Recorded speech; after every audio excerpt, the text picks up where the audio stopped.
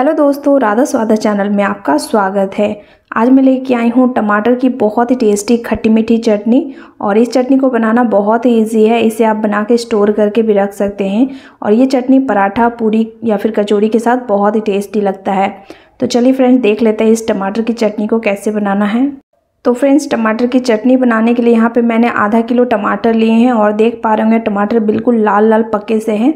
अब हम टमाटर को चॉप कर लेंगे। तो ऊपर का जो डंठल का हिस्सा है, उसे हटा लेते हैं और इस तरीके से टमाटर को हम रफली चॉप कर लेंगे। तो यहाँ पे देखिए, ये जो चटनी है, बिल्कुल आप बनाने के लिए लाल लाल ही पके टमाटर का यूज़ करें। इससे चटनी बहुत ही टेस्टी बन के तैयार होगा। तो फ्रेंड्स, ये देखिए, सारा टमाटर मैंने इस तरीके से कट कर लिया है। और सारे टमाटर को मैं यहाँ पे ग्राइंडर जार में ट्रांसफ़र कर लेती हूँ। इसे हमें पेस्ट तैयार करना है इसका। इसके बाद ही हम इससे चटनी बनाएँगे। तो यहाँ पे मैंने एक कढ़ाई लिया है और इसमें मैंने लगभग डेढ़ से दो चम्मच के करीब तेल गरम करने के लिए रख दिया था। तेल गरम होने के बाद हम इसमें डालेंगे आधे छोटे चम्मच सरसों के दाने और आधे छोटे चम्मच जीरा डाला है और दो सूखी मिर्च को हम इस तरीके से तोड़ के डाल देंगे। इसके बाद मैंने यहाँ पे एक इंच अदरक को ग्रेट करके डाल दिया है और इसे हम कुछ सेकंड के लिए भून लेंगे।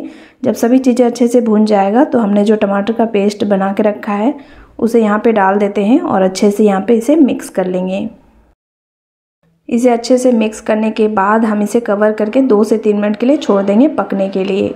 तो फ्रेंड्स, दो से तीन मिनट के बाद कवर हटा लेते हैं और यहाँ पे देखिए जो पानी था टमाटर का, वो सूखना स्टार्ट हो चुका है। अब हम इसमें डालेंगे गुड़ मिठास के लिए तो आप अपने टेस्ट के अकॉर्डिंग डाल सकते हैं। बट मीठी चटनी बना रहे तो थोड़ा सा ज़्यादा ही गुड़ डालें और यहाँ पे मैंने मिठास के लिए गुड़ का यूज़ किया है। आप चाहे तो यहाँ पे चीनी भी डाल सकते हैं और गुड़ को मिक्स करने के बाद हम इसे फिर से कवर कर देंगे लगभग दो से तीन मिनट के लिए। गैस का फ्लेम लो और मीडियम के बीच में रखेंगे। तो फ्रेंड्स, लगभग दो मिनट के बाद मैंने फिर से कवर हटा लिया और यहाँ पे देख पा रहे हैं, गुड़ जो है सारा अच्छे से मेल्ट हो चुका है।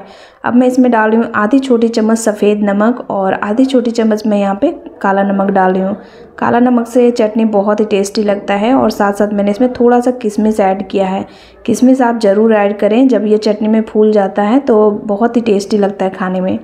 तो यहाँ पे मैंने इसे अच्छे से मिक्स कर लिया और फिर से हम इसे कवर कर देंगे और पानी सूखने तक हम इसे पकाएँगे। तो फ्रेंड्स, यहाँ पे देखिए टमाटर की चटनी को पकाते हुए मुझे लगभग सात से आठ मिनट हो गए हैं और इसका जो पानी था वो सारा सूख चुका है और यहाँ पे देखिए चटनी का कलर भी चेंज हो गया है। तो यहाँ पे मैं गैस का फ्लेम बंद कर रही हूँ और जो चटनी है वो ठंडा होने के बाद और भी गाढ़ी हो जाएगी। तो इस स्टेज पर ही हम गैस का फ्लेम बंद कर देंगे और इसे मैं निकाल लेती हूँ। तो फ्रेंड्स, ये देखिए टमाटर की बहुत ही टेस्टी खट्टी मीठी चटनी बनके तैयार हो गया है। आप इसे बना के फ्रिज में वन वीक तक भी रख सकते हो, ख़राब नहीं होता है और ये पूड़ी पराठा या फिर कचौड़ी के साथ में बहुत ही टेस्टी लगता है। तो फ्रेंड्स, अगर आपको आज की रेसिपी थोड़ी सी भी पसंद आई हो तो प्लीज़ वीडियो को दूसरों के साथ ज़रूर शेयर करें, वीडियो को लाइक करें। चैनल पे नए हैं तो प्लीज़ चैनल को सब्सक्राइब करना ना भूलें। तो फिर मिलते हैं किसी और नई रेसिपी के साथ, तब तक के लिए थैंक यू, बाय।